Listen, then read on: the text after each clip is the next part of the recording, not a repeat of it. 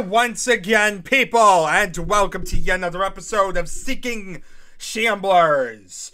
So, um, if you were looking forward to some exciting single player action or something like that, like we've been doing in the past, well, this one's kind of another little lackluster one. Um, basically, I ran across some Team Fortress maps, and so now we kind of have to cover all the different little random Team Fortress maps that were released around this time. It seems like they were all released to like one little, um, I, I wouldn't say as a pack, but they were released all almost together. They were released all on like the same day of like October 28th of 1996. So needless to say, it's within that period of time. They're all little separate things, but at the same time, they all kind of exist and they're just little basic maps or whatnot. As said, I've kind of gone through and um, I, I covered pretty much what Team Fortress is last time around with two, four, two, three. So needless to say, this time around, I'm pretty much just going to cover the level and kind of get out of here. I it was going to cover the last level, but the last level ended up just being basically a duplicate of another level we've already seen. So, needless to say, it's been kind of a little bit of a mess when it comes to the Team Fortress stuff. Gotta love that that one didn't even like take a credit or tell me anything beforehand. You had to like load up the level and happen to recognize that it was like another level that you've seen. Anyway, what are we talking about this time? We're talking about Storm. Yeah, just Storm is the name of the level. They, they really love their simple names that are probably blend in with a bunch of other levels. But luckily, um, each of the levels is also known as Team Fortress 1.3 Storm. You got uh, you got to really anticipate when oh they all of a sudden decide to update to 1.4 or whatnot and decide to change all the names of these levels. I wonder if they're going to do that or if it's just going to stay at like 1.3 for most of these. Well, for the time being, these are what the levels names are as Team Fortress 1.3, blah, blah, blah. And it makes it pretty easy to remember and find and all that. So, anyway, this level is made by John Cook, just like all the other um, Team Fortress levels we've seen thus far. Yeah, it seems like nobody else is really making levels for Team Fortress at this point. It's just John Cook making a bunch of levels. Yeah. Um, anyway, let's see here. Uh, basically, it's a lot of the same stuff we've already seen. Quest, blah blah blah. Um, it's an attack defend map designed to be played by two teams. Team one has to defend the castle from attack for ten minutes. Oh, so this is a lot like the last level. The last level, um, which which basically was Fortress, I think it was, or uh, oh god, um, was it Siege actually, or yeah, I want to say it was Siege. Um, ba basically, Siege was basically the same concept, whereby you had to like defend for 10 minutes, and the other team had to try and get into the base and touch that back wall. And when they touched the back wall, it would give them like so many points. It doesn't end the level for the other team, but it basically gives them so many points that it allows them to essentially get there and win, um, because they have such a monumental jump. But that's aside the point. Anyway, as said, it's attack defense. Um, team 1 has to defend the castle. There's a large button near the gateway which opens the main gates. Hopefully that's better than last time around whereby there was like a weird shootable button. It was like a pain to open. Um, anyway, Team 2 has to storm the castle and break through the inner door. There are buttons on either side of the castle which open the main gates. Once inside, there are six more buttons which have to be pressed in order to open the inner gates. Team 2 wins once they get a player beyond the inner gates. There's a resupply room inside the castle. Okay, so this one actually has a resupply room and is a lot more like um the Team Fortress we're kind of used to instead of last time around, which really was just a modified level. And you could even tell it was a modified level because it had a lot of like random ammo still lying around and weapons that would be totally useless in Team Fortress. So needless to say, you could tell that one was heavily um, converted. So if we see a bunch of weapons lying around, it probably is likely that this is a, a, a converted level that the author didn't give credit to the original designer for. But I think that maybe was a rarity and that this one's actually going back to the normal. At least based on the sound of it, because this one has a resupply point. Like I said, the last one did not have that. So, um, let's see here. Um, Storm? Couldn't spawn Storm. Oh, I think it's Storm 1 actually is the name of the file. Nope. No team association associated with info player team spawn. I'm not sure I like that. But, um, here we are.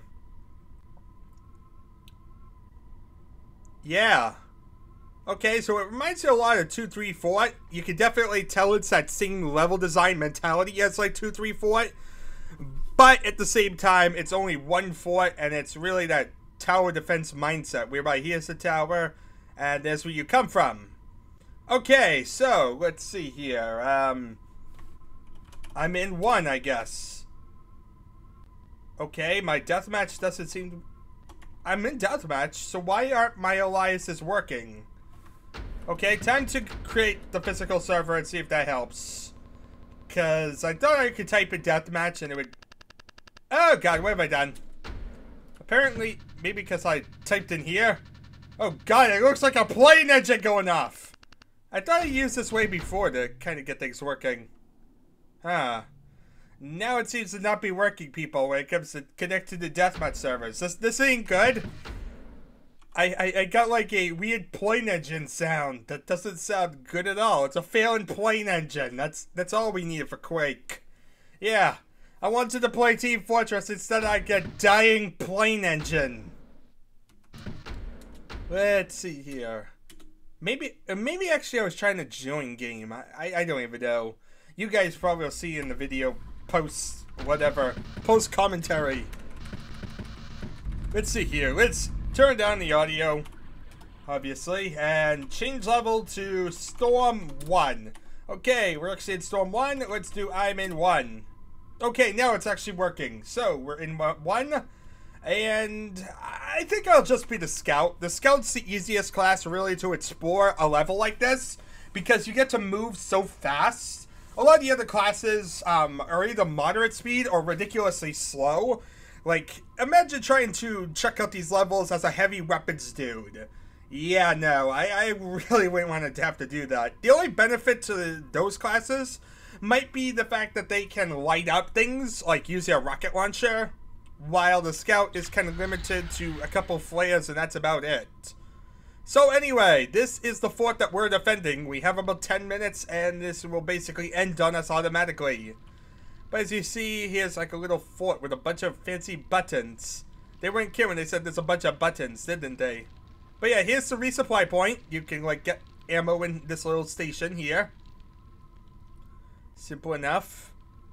And we have to hit the switches to open. Wait, or is this way the way we want to open? I think I just doomed our team because I just pressed buttons since I'm trying to get out of the fort. I'm trying to figure out the button to get out of this fort, and I think I'm dooming you all. There's too many buttons. Um, wait. Oh, there we are. Get disoriented. But yeah, here's the fort. Here's where you leave. Now we're outside. And yeah, that's basically the mentality here. There's really not a lot to do as the defending team. We might as well actually reset and go as the offense team. I'm in two. Okay, so now we're in team two. We're actually able to see how this fort works and how we like break into it. As said, there's no other guns, there's no other things lying around, so really it's just a matter of seeing how we break into this fort.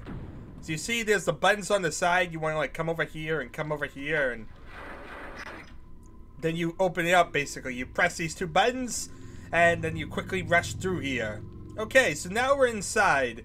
And this big button here is obviously the one that leads in and out. It's bigger than the other buttons, and thus is the, the doorway to this whole thing. So, that's that one. Here is the resupply point. You can get it as the opposite team, as you see.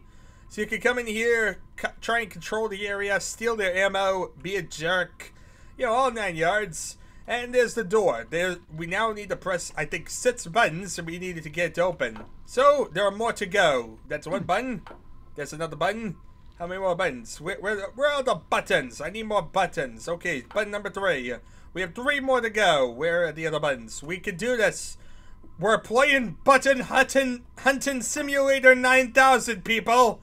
This is what Quake is all about. Finding the hidden buttons. Oh, yeah. We know how much we love this.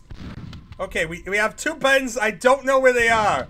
Oh, only one button, people. Only one button And then we can get this door open. Where's that last button? Is it this? No. Oh, okay. So yeah, basically you need to press like two halves of like the button. That's a weird design. But yeah, you need to like press both of them for it to open. I guess it's because the other side needs two buttons to open or whatnot. But here's the last button. You press this. And now we slowly open this door. Very, very slowly. Look at how slowly this door is open. We gotta like just control this area while this door slowly, gradually opens. Oh yeah, look at that. Look at that slow door. We're almost there. We just have another year to go. At this rate, I'm worried the 10 minutes are going to be up before the door opens. Open sesame! Open sesame! Okay, door seems to be open. Yep, now I can actually get underneath. I'm perfectly fine. That seems to be an exit corridor. I wonder if the level's going to end this time when I go in there. Like I said, the last level didn't end when I walked in there, so... I can't imagine this one ending by just walking into it, but who knows? This level isn't the last level, and the rules seem to change constantly with levels like this. Um... Yeah! This thing's almost open. There we are. Let's let's go in here and exit the level, I guess. Team 2 wins! Go Team 2! Go Team 2! We are awesome! Go Team 2! Yeah! Okay, so that is how we win the level. And kick the butt of Team 1, who as you see didn't even try. But that's beside the point. With that in mind, that in mind. Like I said, there's not really a lot going on here. It's another little um deathmatch level, but it is at least a little variant to our normal deathmatch level, which we've seen way, way too many of at this point. Um, having some little variety in the deathmatch scene is definitely welcome. Um, and we haven't seen too too many Team Fortress levels, so that's kind of good. And if you're talking about levels where it's defend the fort, I think this is really the only level I've been able to even record. Like I said, the last one was basically just a redux of a level we already had, so needless to say, it really wasn't the best to record. Plus, it wasn't the best in terms of um, functionality anyway. As said, if you touch the back wall of that one, the level doesn't really end. It's just um, you get a big point score, and that's basically it. This one, if anyone makes it through and basically gets all the buttons, the level ends. Plus, it's a lot more logical because there's none of the random guns lying around and all that that really shouldn't be around the Team Fortress. So yeah, needless to say, a lot better of an experience than the last level was, um, Siege which you guys didn't see. So uh, it's kind of you're probably just sitting there wondering, what in God's name am I talking about? Yeah, you gotta watch the post commentary for that one. Um, anyway, there's really, like I said, not a lot here. It's just a little deathmatch map, as always. So, yeah hopefully we get back to single player levels. I, I'm already missing them. I know I always uh, always end up saying that, but yeah, basically, the really the good stuff for Quake is really just all the single player levels, and everything else is kind of just the historical value, if you will, of it. Otherwise, it's just a bunch of random levels that kind of exist, and really we can't do a lot with because, you know, you need friends to really play with, and, you know, who in their right mind is going to play 1996 random shovelware levels with you? Yeah, that's kind of the problem. Um, as said, that is kind of why a lot of these deathmatch levels sadly are kind of useless in today's day and age. Um, while single player levels at least have practicality no matter what, because someone like us can always load them up and end up playing them after 20 plus years. But yeah, um, at the time, multiplayer was the craze. It was the big thing, and so it makes sense that a lot of people were making multiplayer levels, and that that was the big priority of Quake at the time.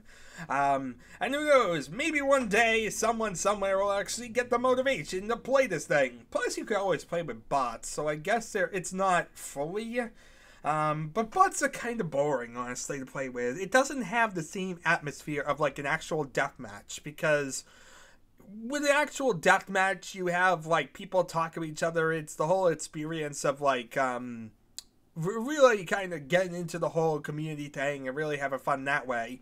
When it's just the monotonous respawning, killing over and over and over, it gets a lot more dull Yeah, so that's needless to say kind of the problem and why bot matches really aren't that exciting. They're good for practice um, for deathmatch, but they aren't the real thing, and they also aren't really a single player experience. They're just kind of, as said, a thing intended usually to work to get better and just kind of practice your skills, but not something you're going to be using a long period of time, at least not in most cases, at least not in my case.